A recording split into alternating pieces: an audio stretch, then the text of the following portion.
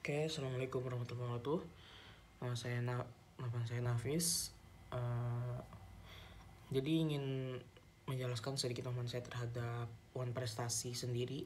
Itulah sebuah kata hukum yang digunakan untuk merujuk pada apa pelanggaran suatu kontrak oleh salah satu pihak yang menyebabkan kinerja yang tidak sesuai dengan apa yang telah disepakati dalam kontrak tersebut dalam konteks hukum perdata, wan prestasi sendiri mengacu pada ketidakmampuan atau ketidakmauan salah satu pihak untuk memenuhi kewajiban yang telah disepakati dalam suatu kontrak juga.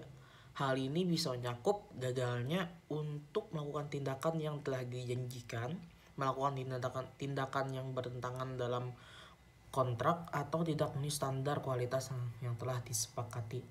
Ada beberapa contoh yang One prestasi itu ada meliputi tentang keterlambatan penyelesaian, kualitas produk yang lumayan buruk, ketidakpatuhan terhadap persyaratan kontrak, pelanggaran hak kekayaan intelektual, kemudian adanya penolakan untuk bermitra. Nah, konsekuensi dari one prestasi sendiri bervaria, bervariasi tergantung pada hukum yang berlaku dan ketentuan yang terdapat dalam kontrak. Namun, beberapa kemungkinan konsekuensi termasuk uh, penghentian kontrak ganti rugi, pemulihan, penghentian pembayaran.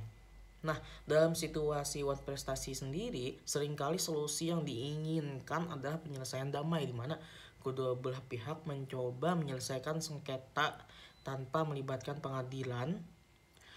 Namun, jika penyelesaian damai tidak mungkin, pihak yang dirugikan dapat mengajukan tuntutan uh, di pengadilan untuk menegakkan hak-hak mereka sesuai dengan kontrak dan hukum yang berlaku.